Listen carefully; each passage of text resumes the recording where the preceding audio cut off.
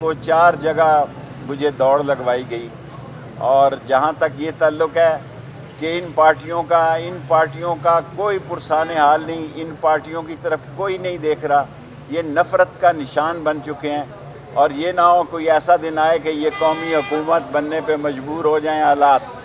मैं हालात को इतना ख़राब होते देखता हूँ कि हो सकता है कि कौमी हुकूमत भी वजूद में आ जाए, क्योंकि जिन लोगों ने इनसे जितना काम लेना था वो गोली अंदर और चूहा जलंधर हो गया है इनका काम पूरा हो गया है। ये जाएँ और मज़े करें। है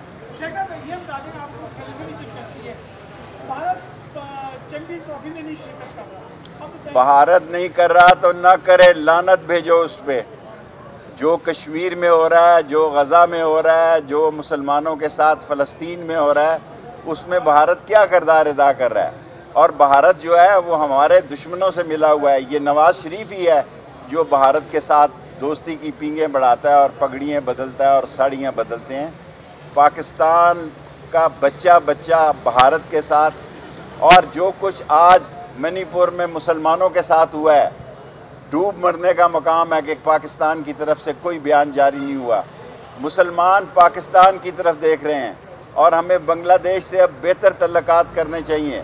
और चीन का एम्बेसडर आपसे खफा है। आपने उसकी बेइज्जती की है। आप अमेरिकन एम्बेसडर की नहीं कर सकते उसकी हदायत पे काम करते हैं और चीन के एम्बेसडर का दिल दुखाते हैं।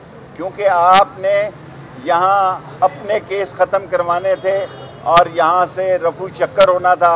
आपने अपने केस ख़त्म की कराए और आप दाल फे ऐन हो गए हैं पाकिस्तान से। थैंक यू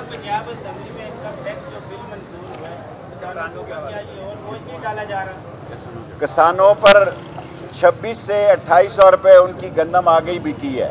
गंदम लोग लगा नहीं रहे। ये एक ऐसी हुक्मरान पार्टी है जो आईएमएफ के शिकंजे में है। दुआ करो, किसी सा, ये सहाफ़ियों की ज़िम्मेदारी है कि वो आवाम को बताएँ कि ये आईएमएफ के साथ कौन सा खेल अब और खेलना चाहते हैं। ना बच्चों की फ़ीस दी जा रही है, ना चूल्हा जल रहा है, ना मकान का किराया दिया जा रहा है, ना गैस का बिल दिया जा रहा है। महँगाई का तूफ़ान है और जो सरकारी नौकरियाँ खाली थी, वो भी ख़त्म कर दी गई हैं। और आईएमएफ का क्या कहर नाजल होगा अभी गरीब आवाम पर? ये आपको इंतज़ार करना